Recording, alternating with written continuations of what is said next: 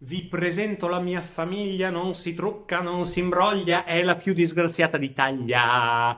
Buongiorno dalla libreria Nuova Avventura con questa canzone di quel geniaccio di Gaber che prendeva in giro la nascita del TV del dolore. Io vi parlo della piccola conformista di Ingrid Seima, appena pubblicato dalla Sellerio, perché è la storia di una famiglia che ci fa ridere nonostante sia una famiglia appunto da TV del dolore perché non se ne salva uno, perché siamo negli anni 70 a Marsiglia, diciamolo, siamo negli anni della rivoluzione sociale, della rivoluzione libertaria, e ci sono questi due giovani, eh, Patrick e Babette, che hanno una bambina e la storia è raccontata dal punto di vista di Esther, la piccola conformista, questo perché Patrick e Babette sono due fricchettoni libertari di sinistra, progressisti, rivoluzionari a loro modo, e per reazione Babette è una, eh, per reazione Esther è una bambina di destra che ama l'ordine,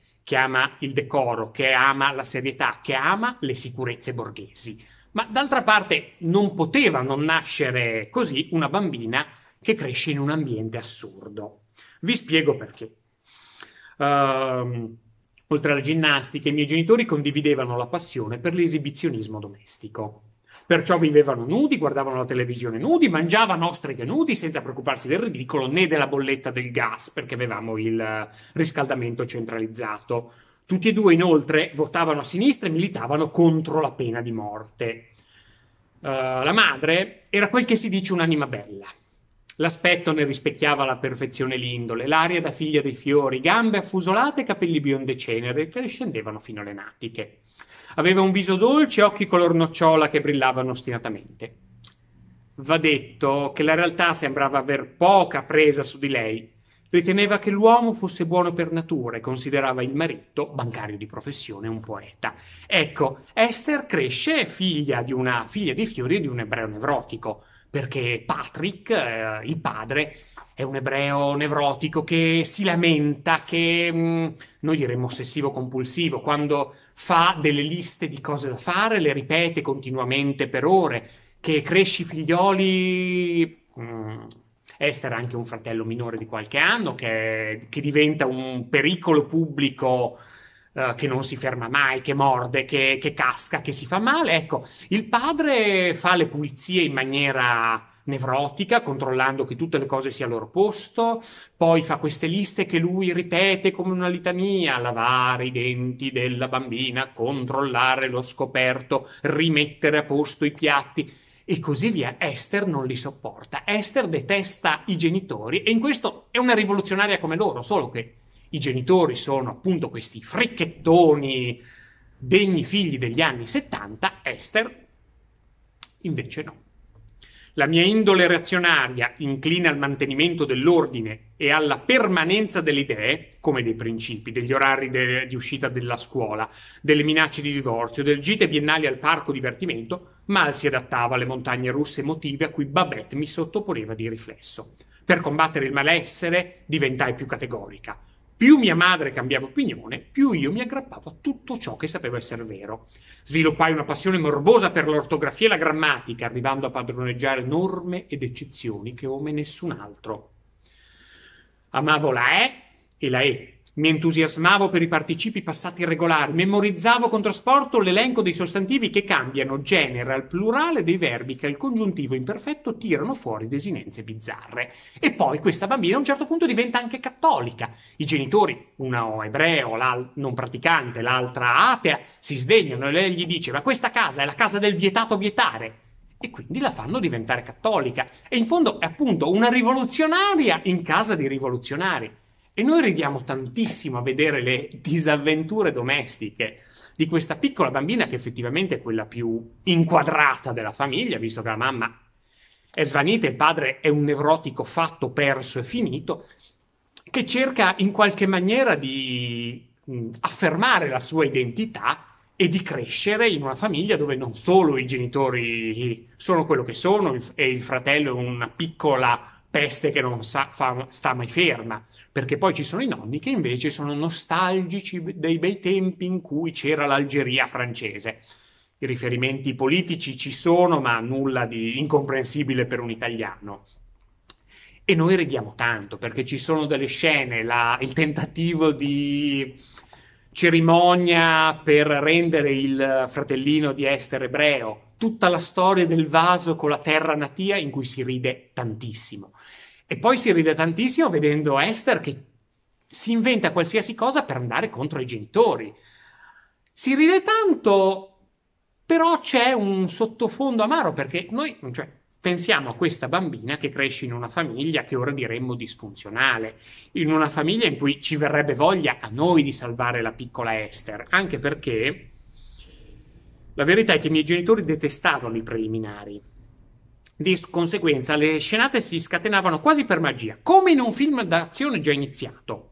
Magari stavamo tranquillamente mangiando tutti e quattro in cucina, quando a un tratto la caraffa dell'acqua volava in frantumi, oppure ci ritrovavamo all'improvviso nel bel mezzo di una tempesta di sabbia perché Patrick e Babette avevano cominciato a picchiarsi sulla spiaggia, prendendosi a pugni soprattutto in faccia per essere certi di farsi male.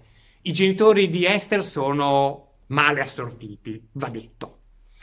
E lei in qualche maniera, tra la madre svanita e il padre eh, nevrotico, parteggia per la madre perché le sembra un po' una ragazzina smarrita. E in questo non è sano che la figlia di dieci anni voglia proteggere la propria madre. E dal momento che Esther è una ragazza seria, una bambina seria, non avendo la minima speranza di vedere Babette occuparsi sul serio delle pratiche di divorzio, mi diede la lettura integrale dei romanzi di Agatha Christie allo scopo di sbarazzarci dell'ingombrante presenza di Patrick.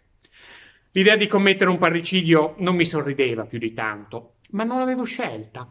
Se nessuno della famiglia era disposto ad assumersi le proprie responsabilità, toccava a me, che ero sempre stata la più pragmatica di tutti, prendere in mano la situazione.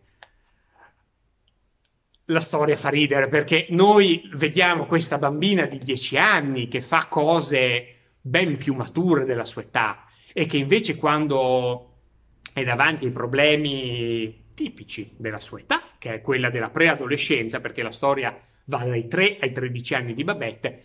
I genitori, eh, Patrick, eh, non possiamo farci affidamento, la mamma si comporta nella maniera sbagliata. Però ehm, bisogna dire che eh, per la piccola conformista di Ingrid Seyman, pubblicato da Sellerio, la fascetta dice una cosa di cui tenere d'occhio di cui tener da conto, una saga familiare divertente e amara che ha fatto innamorare i librai francesi, perché questo è un libro che fa ridere, però man mano che si va avanti e che si ride, si inizia a ridere un po' più amaramente e la storia evolve e io non vi dico altro perché sappiate che la piccola conformista di Ingrid Seyman, pubblicato dalla Sellerio, inizia facendoci ridere, continua facendoci appassionare, a... cercando di capire come andrà avanti la vita que... della piccola Esther in questa famiglia assurda, e poi le cose si avviano a un livello se... sempre più assurdo, ma anche amaro. E io vi lascio con tre motivi per leggere il libro il primo è che si ride. Io ve lo dico, uh, si ride la circoncisione del fratellino, il vaso con la terra, uh, con la terra natia dell'Algeria francese, uh, quando le visite che lei fa alle ricche famiglie borghesi, fingendo di non essere la figlia di due persone della media borghesia di sinistra, ci fanno ridere tantissimo. Il secondo motivo è perché è una storia di famiglia diversa dalle altre, perché è guardata, è vista e letta dal punto di vista della bambina, che è una rivoluzionaria, ma non come ce l'aspetteremmo, anzi è una rivoluzionaria da destra, una rivoluzionaria la cui rivoluzione fa rispettare l'ortografia. Il terzo motivo per leggere questo libro non ve lo posso dire, perché questo libro, ve l'ho raccontato in questa maniera, quando voi lo leggerete, lo potrete riraccontare in una maniera completamente diversa, perché questo è un libro che va letto fino in fondo e soltanto quando lo chiuderete, quando arriverete all'ultima pagina, allora questo libro potrà essere un libro che fa ridere con delle punte di amarezza, come ve l'ho raccontato io, o completamente un'altra cosa. Ma per saperlo lo dovete leggere. Questo era appunto La piccola conformista di Ingrid Seimà, pubblicato da Sellerio, dalla libreria Nuova Avventure Tutto. A presto, ciao!